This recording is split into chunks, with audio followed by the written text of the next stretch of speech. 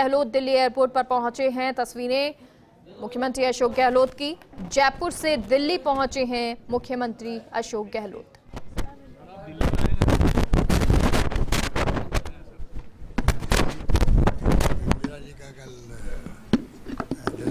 Programme है अंदर।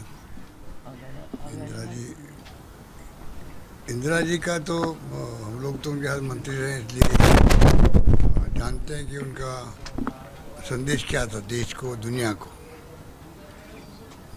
और आज दुर्भाग्य से जो सरकार बनती है दिल्ली में, बनी हुई आज है, वो पुराने लिगेसी हमारी है देश की, चाहे पंडित जवाहरलाल नेहरू हो, चाहे वो लगातार इंदिरा जी थी, बाद में राजीव जी बने नरसिम्हा राव जी बने हों, चाहे डॉक्टर मनमोहन सिंह जी बने हों, कोई नई पीढ़ी को संदेश देने का सवाल ही पैदा नहीं होता है।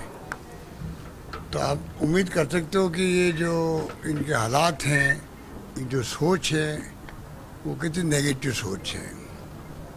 लोकतंत्र के अंदर तो ऐसी बात नहीं होनी चाहिए। इसलिए हम बार बार कहते हैं कि संविधान की भी धज्जियाँ उठ रही है।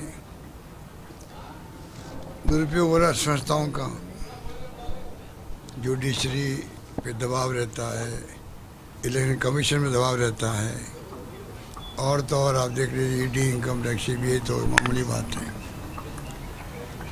तो ये जो नई पीढ़ी को लेके हमें बहुत चिंता करनी चाहिए कि उनको क्या हम सिखा रहे हैं। राहुल गांधी की यात्रा एक कारवा निकल पड़ा है तो वो इश्यू वही ले रहे हैं जो देशवासियों के दिलो दिमाग के अंदर है। महँगाई की बात है, या वो बेरोजगारी है, या जो देश में तनाव का माहौल है, वो समाप्त होना चाहिए। वो कहते प्यार से, मोहब्बत से, भाईचारे, राजनीति करो। तो वही कारवां चल पड़ा। आज मीटिंग थी हमारी, राजस्थान को लेके भी तो सबने विभाग के साथी जी आए थे तो हमने सबने मीटिंग करी वहाँ पर। तैयारियों का जायजा लिया। शानदार यात्रा निकलेगी राजस्थान के अंदर भी तैयारी कर रहे हैं। सर राहुल जी ने जो बात कही सावरकर को लेकर, उस पर असम के मुख्यमंत्री से लेकर मध्य प्रदेश के मुख्यमंत्री तक खबर है। असम के मुख्यमंत्री ने कह दिया कि वो तो राहुल गांधी ऐसे नेता हैं जो आसपास को भी नष्ट कर सकते हैं। ये कुछ भी कह सकते हैं। इनके कहने का कोई स्तर तो है। जिस रूप में ये आज तक बोलते आए हैं आठ साल से तो हम देख रहे हैं इनको। और देश देख रहा है। सोशल मीडिया के माध्यम से जो षड्यंत्र किए गए, उनका पर्दाफाश हो गया यात्रा के अंदर। आज यात्रा को लेके, भारत जोड़ो यात्रा को लेके, पूरे बीजेपी विचलित हो गई है, चिंतित हो गई है। क्यों हो गई है? इसलिए ये बोलना तो उससे उम्मीद ही कर सकते हैं यही बोले और क्या बोलेंगे वो। इतिहास में लिखा हुआ है वो देख लीजिए सच्चाई क्या सामने आ जाएगी आप।